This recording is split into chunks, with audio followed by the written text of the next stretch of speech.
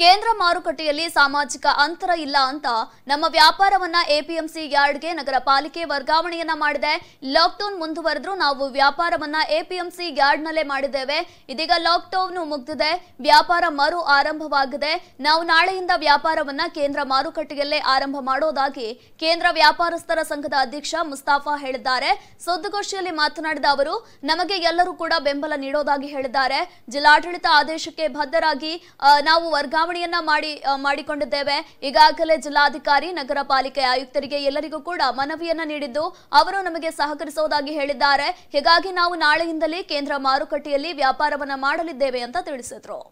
ನಾವು ನಾಳೆಯಿಂದ ನಮ್ಮ ವ್ಯಾಪಾರವನ್ನು ಕೇಂದ್ರ ಮಾರುಕಟ್ಟೆಯಲ್ಲಿ ಪ್ರಾರಂಭಿಸುತ್ತೇವೆ ಅಂತ ಹೇಳಿ ನಾವೊಂದು ತೀರ್ಮಾನವನ್ನು ತೆಗೆದಿದ್ದೇವೆ ಅದಕ್ಕೆ ನಮ್ಮ ಎಲ್ ನಮಗೆ ಎಲ್ಲ ರೀತಿಯಲ್ಲಿ ಸಹಕಾರವನ್ನು ಎಲ್ಲರೂ ನಮಗೆ ಕೊಡಬೇಕು.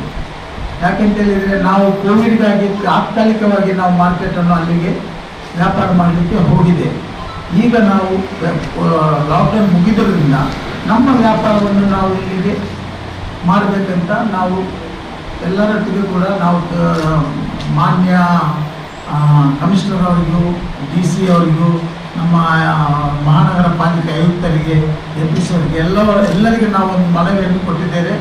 ಅವರು ನಮಗೆ ಸಹಕರಿಸಬೇಕಂತೇಳಿ ನಾವು ಅವ್ರ ಹತ್ರ ಕೇಳಿದ್ದೇವೆ.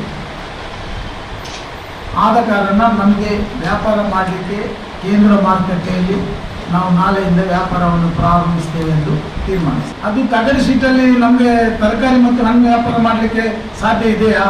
ಅದು ಈ ಪಟಾಕಿ ವ್ಯಾಪಾರ ಮಾಡುವವರಿಗೆ ಆಗ್ಬೋದು. ನಮ್ಮ ತರಕಾರಿ ಮತ್ತು ಹಣ್ಣಿನ ವ್ಯಾಪಾರ ಮಾಡಲಿಕ್ಕೆ ಆ ಶೆಡ್ಡಲ್ಲಿ ಒಂದು ಲೈಟು ಇಲ್ಲ. ಖಾಲಿ ಒಂದು ಶೀಟ್ ವ್ಯಾಪಾರ ಮಾಡ್ಬೋದಾ?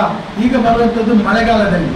ಈಗೆಲ್ಲ ಎಲೆಕ್ಟ್ರಾನಿಕ್ ಸ್ಕೇಲ್ ಅದನ್ನು ಚಾರ್ಜ್ ಮಾಡೋದಲ್ಲಿ ಬೇರೆಯವರ ಅಂಗಡಿ ಹೋಗಿ ಚಾರ್ಜ್ ಮಾಡಲಿಕ್ಕೆ ಆಗ್ತದಾ? ಅದಕ್ಕೆ ನಾವು ಹೇಳಿದಂತೇಳಿ ನೀವು ಮಾಡುವ ತನಕ.